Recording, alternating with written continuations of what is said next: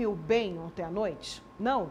Você se lembra quando foi que realmente conseguiu ter uma boa noite de sono, acordar descansado, descansada? Às vezes é difícil, né? Mas você não está sozinho. Mais de 70% dos brasileiros têm problema de insônia. Pois é. A Julia Marques preparou uma reportagem sobre o assunto. Vamos conferir agora.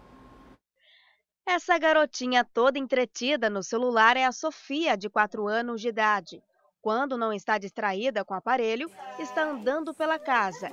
Haja pique. Nem parece que na última noite mal conseguiu dormir. Ela sempre teve certa dificuldade né, com essa parte do sono, né? E aí nós acabamos percebendo né, com o tempo, né? No começo achávamos que era normal, porque geralmente as crianças muitas trocam a noite pelo dia, né? Porém, com o passar do tempo, foi só aumentando cada vez mais, né? E assim, não era só a falta do sono, assim, trocar a noite pelo dia. Ela realmente ela ficava sem dormir, é, às vezes dia e noite. Realmente não era normal. Os médicos descobriram que a Sofia não produzia adequadamente o hormônio do sono, chamado melatonina. Ele regula nosso ciclo biológico de 24 horas, influenciando nossa disposição ao longo do dia. Após o diagnóstico da pequena, a mãe da Sofia foi descobrindo que outras condições como autismo e TDAH, poderiam estar relacionadas a essa dificuldade ao dormir. Uma coisa leva a outra, né? Foi feito alguns exames e é onde foi descoberto, né, que ela tem. E assim, aí ela já começou o tratamento, ela faz uso de medicação, né? Isso só que assim, nem sempre faz o efeito necessário, né? Por quê? É, aparentemente, tipo, o organismo parece que ele já acostumou. Então, assim, Chega uma época, tem dias que ela dorme bem, tem dias que não. A Sofia faz parte dos 72% dos brasileiros que sofrem de distúrbios relacionados ao sono, como a insônia, de acordo com estudos da Fundação Oswaldo Cruz. Um número que preocupa, mas será que existe um tempo ideal para ter uma boa noite de sono? Então, às vezes a pessoa dorme uma quantidade de sono boa, né, 8 horas, só que a qualidade é ruim. Seja porque o sono é fragmentado, ou ela acorda várias vezes, tem dificuldade para iniciar o sono, ela acorda muito cedo, ou ela tem, por exemplo, apneias, para de respirar durante a noite, ou tem vários outros sonambulismo, né, vários outros problemas que afetam a qualidade do sono. Então, não, não fica certo aquela quantidade de sono a 8 horas. Né? Não, às vezes não dormi 8 horas. Então, tem que avaliar também a qualidade do sono. Isso vai refletir muito no seu dia a dia. Que o brasileiro anda dormindo mal, agora a gente já sabe. E quem mora aqui em Campo Grande também enfrenta noites em claro. O senhor é da, do time que dorme bem ou é daquele time que dorme mal? Graças a Deus eu durmo muito bem.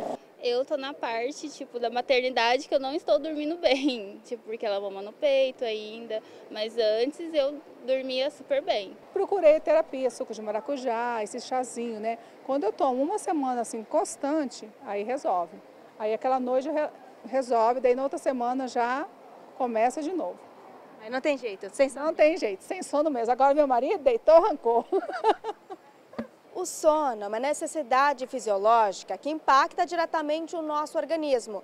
E é só o sono vir que perdemos o foco, o que pode ser perigoso.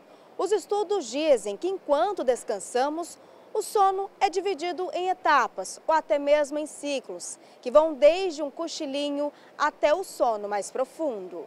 Se a pessoa tem dificuldade para dormir à noite, eu tenho uma insônia, seja ela de início, de manutenção, o ideal é que ela não durma durante o dia porque isso pode afetar o sono dela à noite.